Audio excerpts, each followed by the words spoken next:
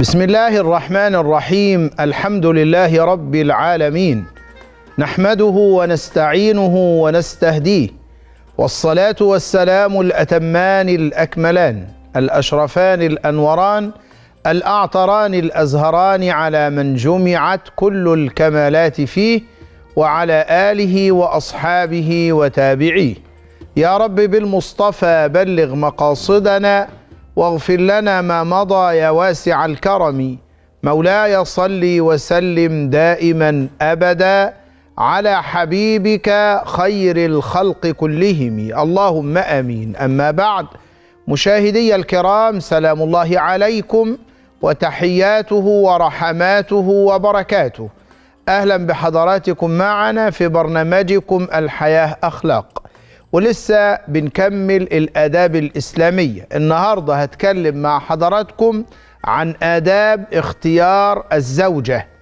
ما أحوج الشباب إلى زوجات صالحات وما أحوج البنات إلى أزواج صالحين.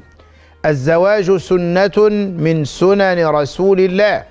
قال الله جل وعلا ومن آياته أن خلق لكم من أنفسكم أزواجا لتسكنوا إليها وجعل بينكم مودة ورحمة إن في ذلك لآيات لقوم يتفكرون.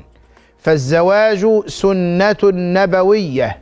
لما جاء ثلاثة إلى بيوت زوجات سيدنا رسول الله يسألون عن عبادة النبي كأنهم تقالوها. قالوا إحنا ممكن نعمل أكثر. فواحد منهم قال أنا هصوم ولا أفطر طول العمر صايم. والثاني قال أنا هقوم الليل ولا أرقد هصلي بالليل ولا أنام. والثالث قال أنا أعتزل النساء فلا أتزوج. فسيدنا النبي سمع الكلام اللي قالوه فقال صلى الله عليه وسلم بعد أن أرسل إليهم أما والله إني لأتقاكم لله وأخشاكم له. ولكني أصوم وأفطر وأصلي وأرقد وأتزوج النساء فمن رغب عن سنتي فليس مني.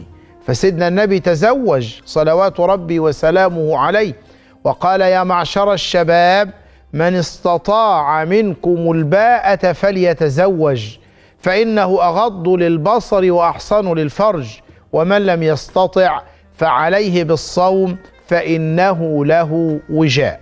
طيب إزاي نختار الزوجة الصالحة؟ كيف لأولادنا أن يختاروا الزوجات الصالحات؟ اسمع كلام حبيبك سيدنا النبي اللهم صل عليه يقول تنكح المرأة لأربع لمالها ولجمالها ولحسبها ولدينها فاظفر بذات الدين تربت يداك. يعني إيه تربت يداك؟ يعني التصقت بالتراب إن لم تفعل. أي واحد بيتزوج واحدة لحاجة من أربعة إما لجمالها إما لمالها إما لحسبها ونسبها بنت مين وأبوها مين وعيلة مين أو جميلة أو عندها مال ويريد أن يحصل هذا المال. أو لدينها. والنبي ختم بالدين. أو لدينها. قال فاظفر بذات الدين تربت يدك. يعني احرص على الزواج من المرأة الدينة المتدينة. اللي هتبقى زوجة ليك. اللي هتبقى مودة ورحمة ليك في البيت. اللي هتبقى أم لأولادك. اللي هتربي الأولاد والبنات. فاختار المرأة الدينة اللي عندها دين تربت يداك يعني إيه تربت يداك؟ يعني التصقت بالتراب إن لم تفعل. يا طالب الحليلة عليك بالأصيلة. من أمها مهذبة في قومها محببة. تقول آت النار ولست آت العار. لها أب يحكي الأسد مؤديا حق الصمد. هروح فاصل وارجع لكم تاني نكمل. عن آداب اختيار الزوجة الصالحة. خليكم معانا وصلوا على الحبيب.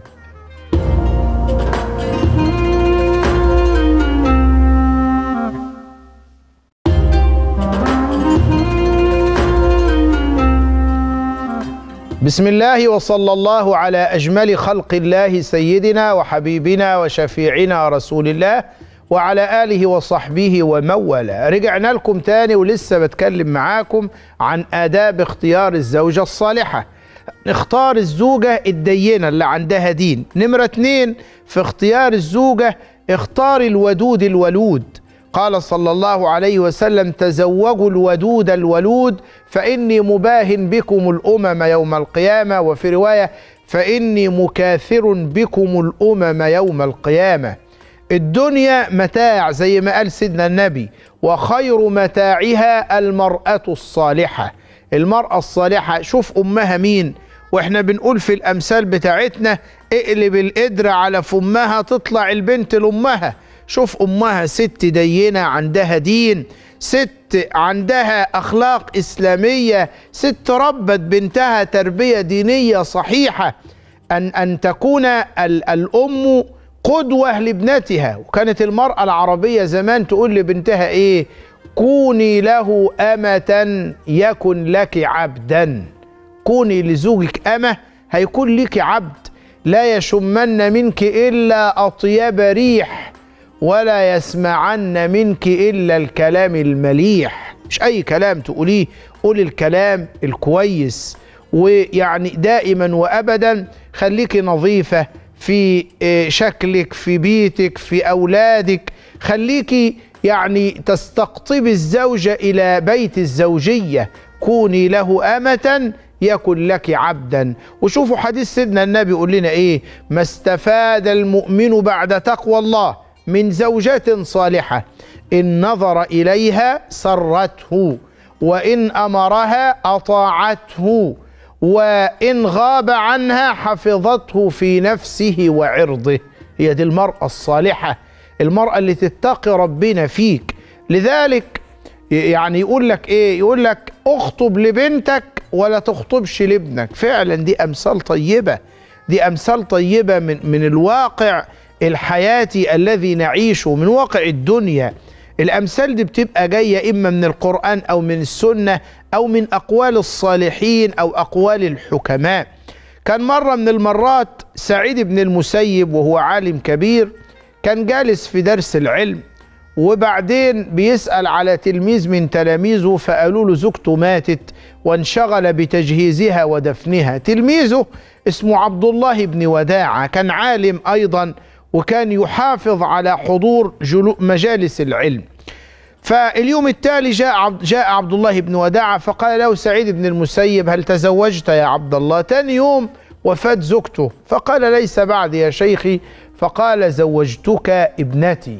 فجوزوا البنت وشهد الشهود على هذا. يقول وعند المغرب إذ بالباب يطرق. عبد الله بن وداعة بيقول فقلت من؟ يقول فقال سعيد. بيقول عبد الله بن وداعة فخطر ببالي كل سعيد إلا شيخي سعيد. ففتح الباب فوجد الشيخ بتاعه سعيد بن المسيب. اتفضل يا سيدنا الشيخ بيقول له جئتك ومعي زوجتك.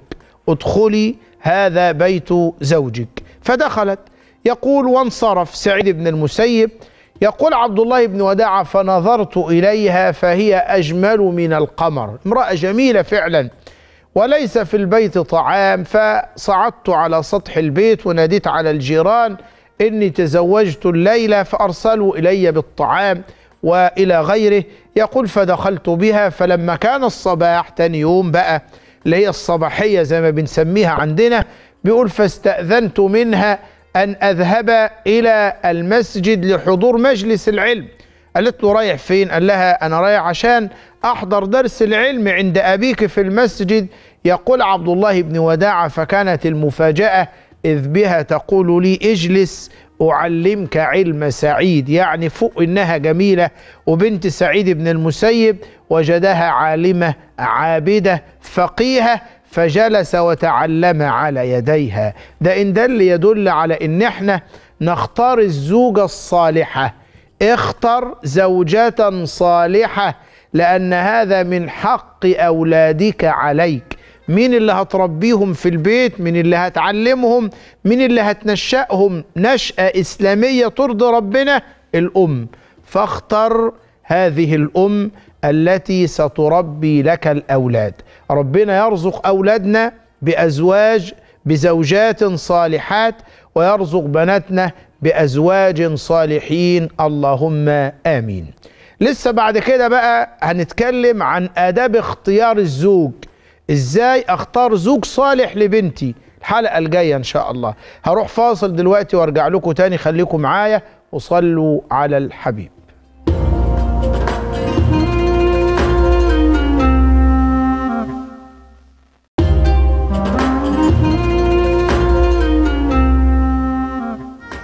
بسم الله وصلى الله على أسعد خلق الله سيدنا وحبيبنا وشفيعنا رسول الله وعلى آله وصحبه ومن والاه. رجعنا لكم تاني ومع الفقرة الفقهية.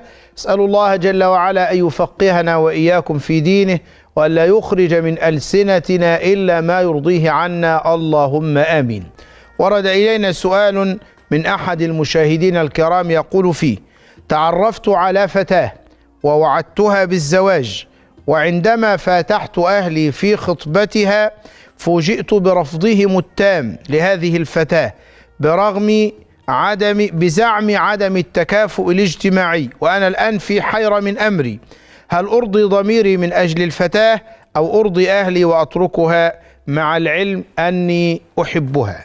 أقول وبالله التوفيق ومنه العون والمدد والسداد والرشد. رسالة موجهة إلى والديك اولا. نعم يجب عليك أن تبر والديك لكن أقول لأبيك وأمك بأنك أنت الذي ستعيش معها. اختر أنت زوجتك. مش أبوك وأمك اللي يختاروا لك أنت اللي تختار. وموضوع زعم عدم التكافؤ الاجتماعي اسأل وتحرى الأمر. وبين لهم أنها على دين وأنها على خلق. من أخذ امرأة لجمالها فإن الجمال لا يدوم. ومن أخذ امرأة لمالها فإن الغنى والفقر لا يدوم. ومن أخذ امرأة لحسبها ونسبها فإنه لا يدوم. ومن أخذ امرأة لدينها حصل الدين والمال والجمال والحسب والنسب. هيبقى فيها بركة لأن سيدنا النبي قال فاظفر بذات الدين. ما قالش فاظفر بذات المال. ما قالش فاظفر بذات الجمال. لا. حاول انت بقى ان انت تقنع والديك. قول لابوك ولامك ان البنت دي على خلق البنت دي على دين البنت دي كويسة ان أنا يعني مرتبط بيها وأنا بحبها وأنا عايز اتزوجها. اقنعهم. لأن في رضا الوالدين هيبقى فيه كل البركة. رضا الله في رضا الوالدين وسخط الله في سخط الوالدين. طيب لو انت ارتبطت فعلا وتزوجت بالبنت وأبوك وأمك قالوا لك لا إحنا مش راضيين عن الزواجة دي ولازم تطلقها لا تطع أبويك. ما تسمعش كلامهم. لإن ليس لهم الحق في هذا التدخل. إحنا بنقول لك كن بارا بأبيك وأمك بنقول لك اقنع أبوك وأمك بنقول لك احرص على إرضاء والديك لكن كل ده قبل الخطوبة. طيب لو انت ارتبطت وخطبت وعقدت عليها ويقولوا لك طلقها لا تسمع كلامهم لكن حاول اقنعهم عشان إيه تستجلب رضاهم لأن رضاهم من رضا الله جل وعلا. نسأل الله جل وعلا أن يرزقنا وإياكم بر والدينا. اللهم آمين يا رب العالمين. أشوف حضراتكم إن شاء الله على خير. والسلام عليكم ورحمة الله وبركاته.